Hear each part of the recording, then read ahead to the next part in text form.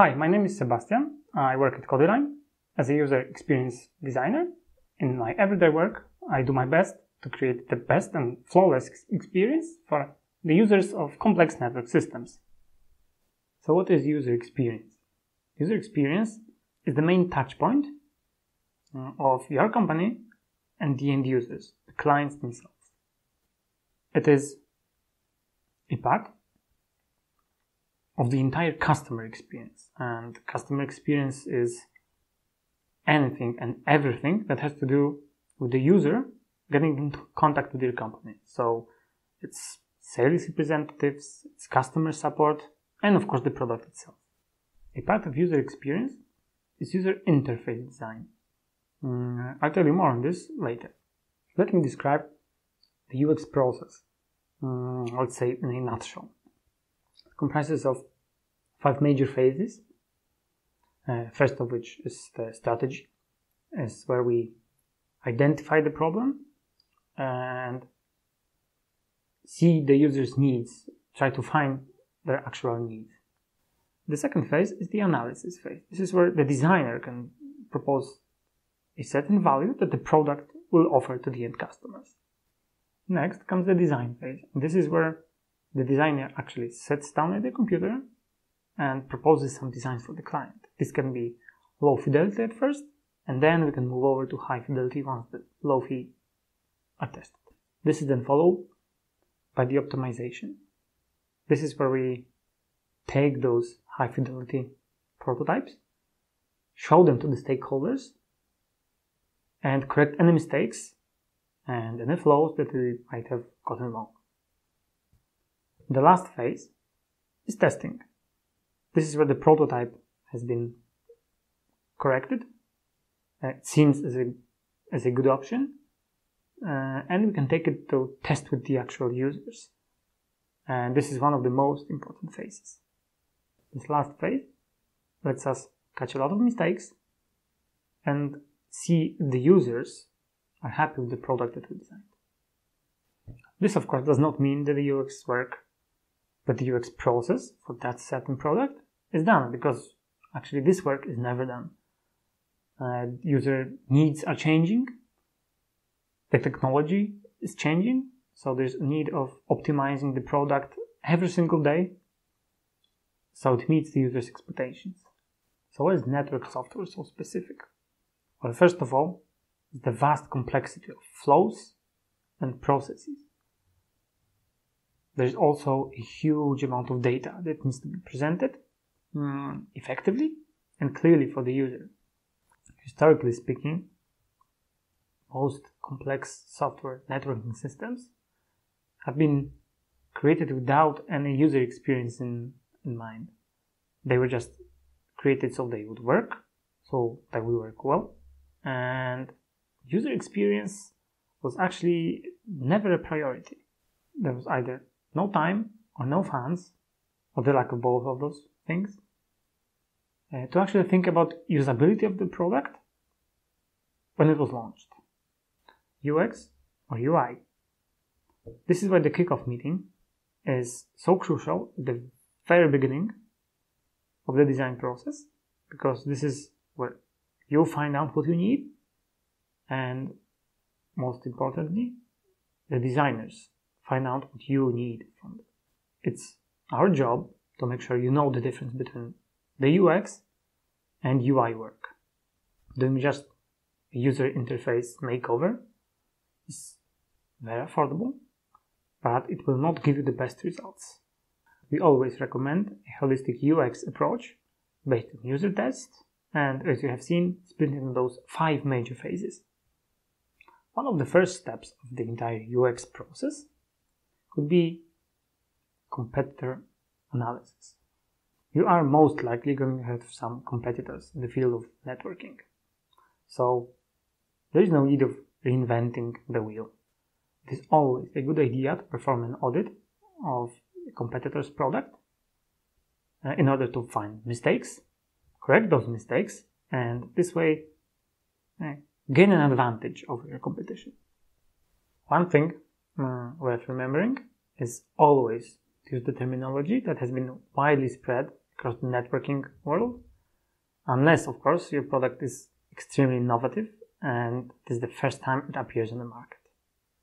An absolutely crucial thing is the information architecture of your product. It actually makes the entire product.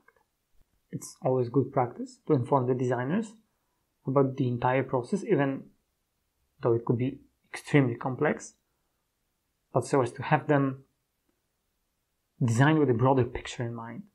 So they know exactly the goals that needs to be achieved at the very end of the flow of the process itself. A properly designed information architecture is going to flatten the learning curve of mm, a product so new users can adapt to it much quicker. It's going to make the interactions much faster and much more effective. And most of all, it's going to eliminate errors and user frustration. When it comes to keeping the cost down, designing with the UX best practices in mind only is going to give you the most value for money.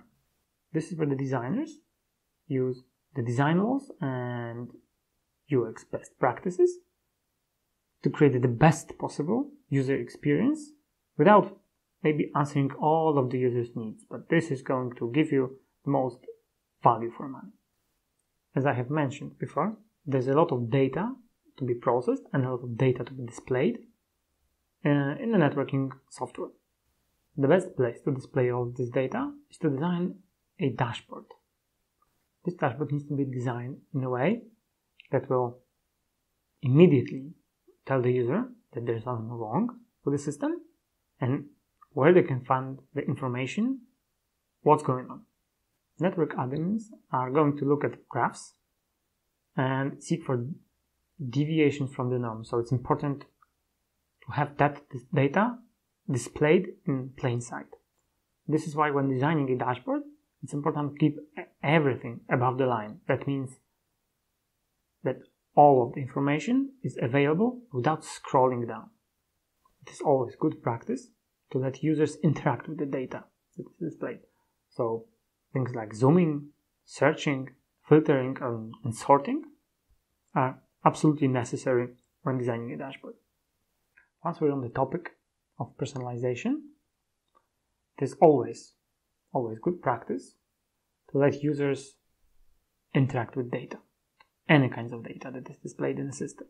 It is important to let the users customize the system. So it even comes down to things like setting a column width in a certain view of the system. Also, it's recommended to use automation in very complex systems uh, by using templates, for example. One important feature that tends to be forgotten is auto population. It really does make users' job much easier if they either have an example of the data, so it's pre-filled in uh, for them. They don't really have to think about this because they can actually see the default values. Another way of letting the user complete the task is giving the user visual feedback. Uh, it has been researched that images and visual aids are going to be processed much, much faster, as much as 60,000 times faster than plain text.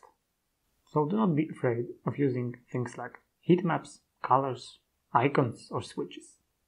Designers tend to do this by designing style guides or design systems.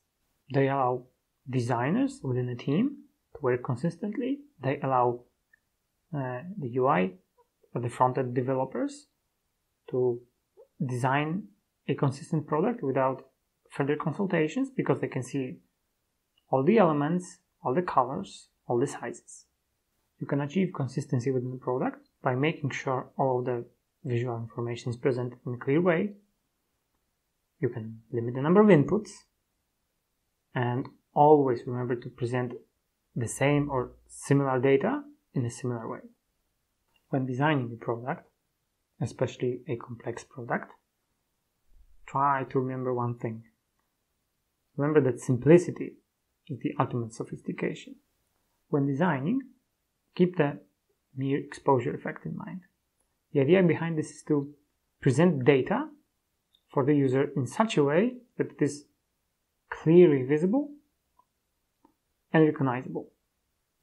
Even though you might not have access to actual users, you always have to think about them.